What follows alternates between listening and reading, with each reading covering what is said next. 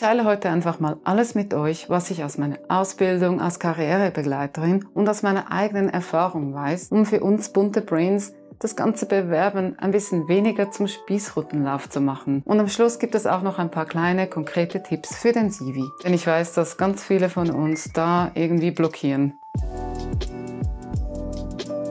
Ich habe einen sehr bunten und bewegten Lebenslauf und ich habe auch schon tausendfach an mir selbst gezweifelt, wenn ich eine Absage bekommen habe. Und ich habe das natürlich auch alles auf diesen bunten ADHS-Lebenslauf geschoben. Doch es liegt nicht immer am Lebenslauf oder der angeblichen eigenen Inkompetenz in Bewerbungsgesprächen. Sehr häufig ist einfach schlicht und ergreifend jemand anders ein bisschen besser geeignet. Vor allem mit Rejection Sensitive Dysphoria, der krassen emotionalen Reaktion auf Ablehnung, kann das natürlich super super viel auslösen bei einem, wenn Absagen reinflattern. Darum möchte ich es nochmals betonen. Auch wenn du auf eine Stelle zu 100% passt, kann es einfach sein, dass ohne böse Gründe jemand anderes ausgewählt wird. Das heißt nicht, dass du nicht gut genug bist, sondern dass andere auch geeignet waren. Und da wird manchmal buchstäblich mit einem Würfel oder einem Los entschieden. Und es ist natürlich super nervig, dass man sehr häufig dann nur Standardantworten bekommt, in die man alles rein interpretieren kann, warum man jetzt diese Stelle nicht bekommen hat, wenn es sehr oft einfach total banal war. Auch wenn du die detaillierten Gründe vielleicht nie herausfindest, gibt es trotzdem Wege, besser mit deiner Absage umzugehen. Frage dich, Weiß ich wirklich, dass mir wegen meinem bunten ADHS-Lebenslauf abgesagt wurde? Gab es echte, sicht- und hörbare Fakten dazu, die darauf hindeuten? Oder könnte es daran gelegen haben, dass einfach zu viele in Frage kamen? Hat das Unternehmen denn überhaupt zu mir gepasst? War es eventuell zu spießig oder zu fortschrittlich oder sonst irgendwas? Was würde denn besser passen? Und falls du denkst, du hättest im Bewerbungsgespräch irgendetwas falsch gemacht, frage dich, warum du vielleicht nicht das sagen konntest, was du wolltest und was würdest du beim nächsten Mal vielleicht besser machen und was müsste dein Gegenüber anders machen, damit das für dich besser läuft. Denn man ist zu zweit in einem Bewerbungsgespräch. Das vergisst man gerne mal. Waren die Fragen überhaupt sinnvoll und fair? Wurdest du künstlich unter Druck gesetzt vielleicht? Und warum hast du dich unwohl gefühlt? Gibt es da irgendwas, was du beeinflussen kannst oder lag es wirklich einfach nur am Umfeld und den Umständen? Das ist die Gelegenheit, dass du ganz ehrlich bist zu dir. Und wenn du es schaffst, auch deinen eigenen negativen BS out zu callen, den du über dich denkst und zu dir selbst sagst, wirst du jetzt herausfinden, ob du überhaupt dich auf passende Stellen bewirbst bewirbst, die dir Freude machen würden. Und wenn dem nicht so wäre, kannst du jetzt auch bewusst dich entscheiden, dich auf andere Stellen zu bewerben, die besser passen. Und so siehst du auch, was du vielleicht künftig noch bei dir verbessern kannst. Und ja, ich weiß, man kann sich nicht immer den Traumjob aussuchen. Doch wenn irgendwie möglich, sollte der Job zumindest nicht der komplette Horror und einigermaßen machbar sein. Also darunter solltest du deine Standards wirklich nicht setzen.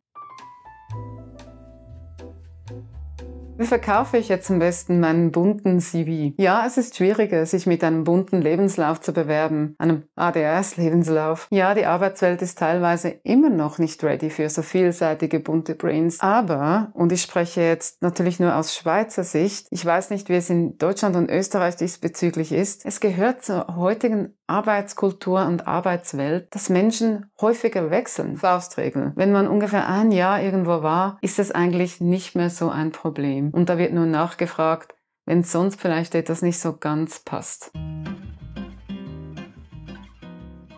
Wie kann man also seinen bunten Lebenslauf attraktiv gestalten? Die Hauptregel ist, die erste Seite des CVs muss die wichtigsten und relevantesten Meilensteine vereinen und den Blick auf sich ziehen, also ein Eyecatcher sein. Ich bin persönlich immer sehr gut damit gefahren und habe auch gutes Feedback erhalten, mich auf der ersten Seite des CVs mal grundsätzlich als Mensch mit meinen Stärken und meiner Motivation vorzustellen. Das kann man dann ein wenig an die jeweilige Stelle anpassen, natürlich ohne zu flunkern oder eben sich zu verstellen oder dort auch noch zu masken. Es geht ja gerade um die echte Persönlichkeit. Und da hast du auch die Gelegenheit, als vielleicht von dir als Schwäche empfundenen Eigenschaften, zum Beispiel mega viel verschiedene Jobs gemacht, auch als Vorteil herauszustellen. In diesem Falle sind nämlich Vielseitigkeit, Lernbegierigkeit etc. die positiven Kehrseiten. Und weil wir ADHSler sind, wir müssen aufhören, ständig unser Licht unter den Scheffel stellen und zu ignorieren, was wir bisher alles geschafft haben, auch wenn es ganz unterschiedliche Dinge waren. Wir dürfen stolz unsere Leistungen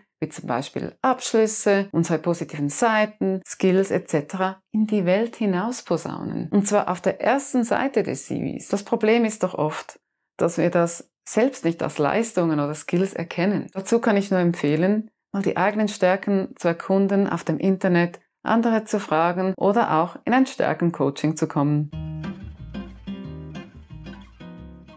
Was ist denn mit Lücken im Lebenslauf? Ich weiß, dass viele von uns bunten Brains auch damit zu kämpfen haben. Grundsätzlich kann ich sagen, es ist immer besser, wenn man das nicht einfach versucht so stehen zu lassen, sondern dass da irgendwas steht. Denn sonst kommt mit Garantie eine Frage, wenn jemand genau hinschaut. Und wenn es nicht gerade super relevant ist für die Stelle, muss man ja auch nicht ehrlich hinschreiben, was war. Hot Take, ich weiß. Aber ich bleibe dabei. Eine Pause zur Neuorientierung zum Beispiel reicht als Bemerkung völlig aus. Wir müssen keinen Seelenstriptease machen und vor allem sollten wir darauf achten, hier nicht over zu sharen. Ich weiß, das alles kann einem extrem fake vorkommen, aber es ist einfach sonst zu häufig zu unserem Nachteil. Sag nicht, dass wir nicht ehrlich sein sollen, dazu komme ich noch. Und ich mag dieses Spielchen ja auch nicht, aber trotzdem müssen wir schauen, dass wir uns nicht selbst gleich eine Falle stellen. Es geht um eine Balance zwischen ehrlich zu sein, aber eine Grenze zu kennen, wo es halt einfach nicht mehr förderlich ist, weil wir vielleicht auch missverstanden werden. Und natürlich sollte die Darstellung des ganzen Dokuments ansprechend und einheitlich sein und zu einem selbst passen. Dazu gibt es heute zum Glück viele gute und auch kostenlose oder sehr günstige Vorlagen zum Anpassen. Links sind unten in der Beschreibung. Was für mich in Bezug auf Bewerbungsgespräche gut funktioniert hat. Für mich hat es immer gut funktioniert, eben doch relativ offen und direkt zu sein, wo ich mir nicht unnötig selbst einen Strick drehe. Ich habe zum Beispiel immer relativ offen über meine Wechsel gesprochen, wenn ich gefragt wurde oder auch direkt auf was geantwortet, wo jetzt vielleicht ein Bewerbungscoach sagen würde, sollte man nicht. Zum Beispiel, dass gewisse Stellen gegen meine Werte waren und ich dann nach einigen Versuchen, was zu verändern, die Konsequenzen zog. Ich habe auch schon oft Interviewfragen hinterfragt und das kam zu meiner Überraschung eigentlich immer gut an. Und wer nicht mit meiner Art umgehen kann, sollte mich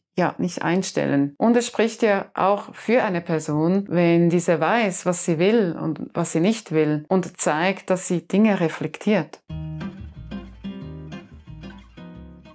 Ich bin wirklich kein Fan davon, sich zu masken oder irgendwas vorzuspielen, was man nicht ist. Ich bin einfach Fan davon, sich vorher zu überlegen, wo gewisse Grenzen sind und welche Informationen zu viel oder nicht relevant sind. Und das erfordert ja auch eine gewisse Vorbereitung, die ich nur schon für meinen Seelenfrieden auch machen muss. Also ich bereite eigentlich alle Antworten auf mögliche Fragen vor und auch die Fragen, die ich gerne dem Betrieb stellen möchte. Und mögliche Smalltalk-Themen kommen auch gleich mit, weil bäh. Ich kann es nur empfehlen, sich gut vorzubereiten. So, ich hoffe, das hilft jetzt irgendjemandem da draußen. Lasst es mich gerne wissen in den Kommentaren und auch, falls ihr Fragen habt oder erzählen mögt, wie ihr das so erlebt und was euch vielleicht hilft und geholfen hat. Nichts Schöneres, als voneinander zu lernen und einander weiterzuhelfen. Liked gerne dieses Video, schenkt mir ein Abo und wenn ihr noch weiter gucken mögt, habe ich hier noch ein Video zum Umgang mit ADS im Job und eins zur beruflichen Erfüllung. Vielen Dank fürs Reinschauen und bis bald. Tschüss!